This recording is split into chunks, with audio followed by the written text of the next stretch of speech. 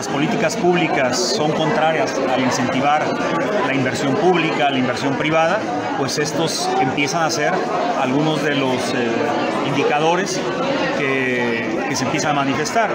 Lo que estamos haciendo y estamos apoyando desde primer nuestro gobierno es ser facilitadores de la inversión pública, motivadores de la inversión pública, de la motivación de la inversión privada sobre todo. En cuanto a lo que se refiere a la inversión pública, hacemos un llamado al gobierno federal a que invierta en Colima, a que desarrollen y que apoyen los proyectos que hemos enviado al gobierno federal, que hasta ahora no han sido, eh, hemos tenido eco, esperemos que así sea, porque son proyectos que van a incentivar la actividad económica en el municipio desde los recursos del gobierno de la República. Es importante que haya inversión pública federal en el municipio de Colima. Hasta hoy ha sido realmente prácticamente nula.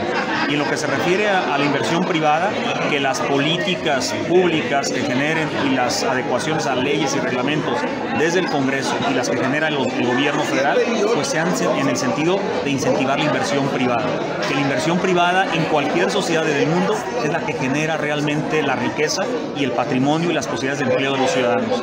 Y entonces es a donde se debe enfocar una política pública. Nosotros como gobierno municipal lo que nos toca es solamente ser facilitadores y, y dar impulso a todas esas ideas innovadoras que puede tener la sociedad civil. Pero sí el gobierno federal es quien tiene que facilitar las cosas y en las políticas públicas federales pues generar las condiciones para la inversión privada. ¿Tendrás el dato si hay crecimiento en el ayuntamiento o interés de empresarios que quieran invertir?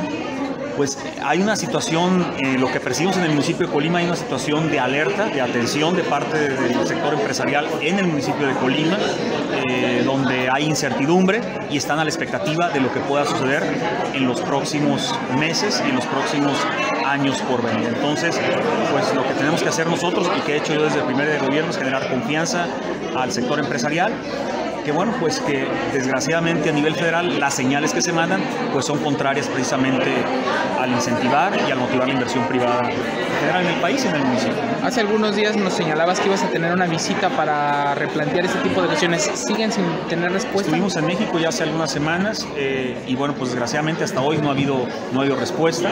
Esperamos que, que se dé.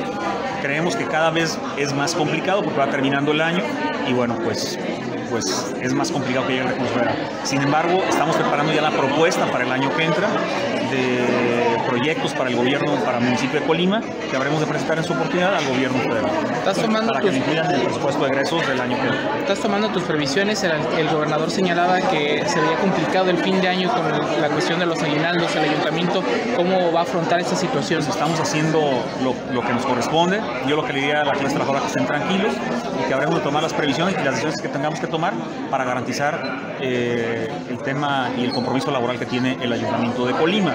Sin embargo, sí, es un escenario complicado, difícil, que lo que hemos hecho en el municipio de Colima lo, hemos hecho con recursos solamente municipales, el 90%, y que bueno, por lo que percibimos, pues así seguirá siendo el resto de la administración.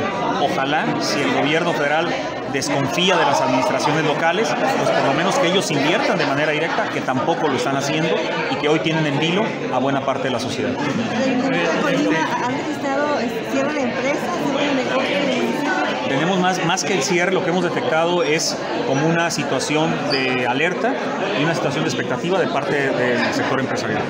Dices que preparas tu paquete para presentar al gobierno para el presupuesto de la federación. Sin embargo, en su reciente visita a los diputados federales, Tatiana Criterio, muy delegado, decía que ya no se van a aceptar lloriqueos de los alcaldes que vayan a pedir recursos a la Cámara de Diputados con este fin, eh, que porque se prestaba creo que ese ha sido uno de los graves errores de este, de este gobierno y qué lástima que alguien lo manifieste en este sentido, que descalifique en, de esta manera a los gobiernos locales.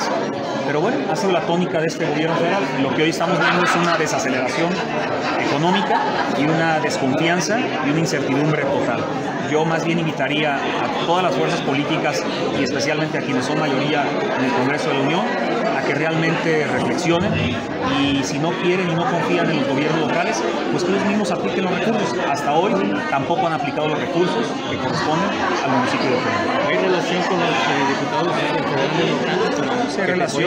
Hay una buena relación, hay una relación institucional y esperamos y apelamos a ellos, no para el 8, no para el presidente municipal, sino para la sociedad en general. Hoy hay gravísimas carencias que no pueden ser solventadas porque lejos de, invertir en el municipio, pues han quitado apoyo social, han quitado toda la parte de inversión pública del municipio, pero tampoco ellos lo están haciendo. Entonces eso hace cada vez más grave la situación y bueno, pues hoy el nivel de incertidumbre que se vive Según los diputados se hacen esto porque dicen que les incrementaron las participaciones, ¿es cierto? incrementaron las participaciones, sí, en un porcentaje muy pequeño con respecto a los proyectos y a las necesidades de inversión que tiene en este caso el municipio de Colima.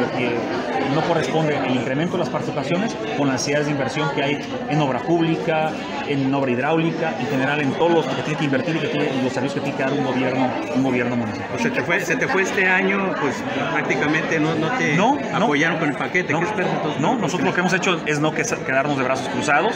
Eso para nosotros no ha sido una limitante. El gobierno municipal está trabajando. Estamos ahorita colocando casi 18 mil luminarias en todo el municipio con recursos propios.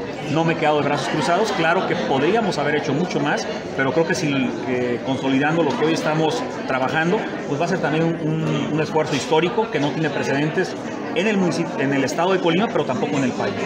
¿En qué porcentaje incrementaron estas participaciones? Creo que son alrededor de 11 millones de pesos, o sea, realmente es nada en relación a las necesidades que tiene el municipio de Colima. Oye, Nacho, en julio el municipio de Colima se identificó como el municipio más violento, en mayor incidencia en robos de casa habitación, en vivienda y de vehículos. ¿Qué está haciendo el ayuntamiento de, de Colima para combatir este problema? Eh, Las cifras que se presentan son las reales y además son históricas. Tradicionalmente el, el municipio de Colima es quien ha tenido estos indicadores por condiciones naturales. Pero para nosotros, para mí personalmente, tampoco es un pretexto del cual yo debo de cobijarme. Al contrario, estamos trabajando para revertir esa situación.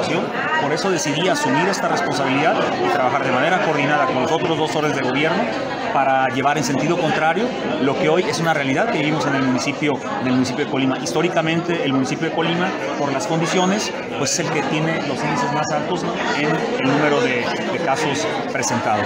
¿Pero cómo se está trabajando? Estamos trabajando en la construcción de ciudadanía, en la recuperación de espacios, en el tema de las luminarias, en la coordinación con el gobierno estatal y federal para el tema de prevención del delito y estamos trabajando también en la construcción que ya tenemos el sistema de justicia cívica como una apuesta pues para responder también a este, a este tema. Creo que aquí hay una, una estamos asumiendo la responsabilidad que nos corresponde y actuando en lo que a nuestra responsabilidad nos corresponde. Sí creo que, debemos sumar el esfuerzo importante yo hago una reflexión.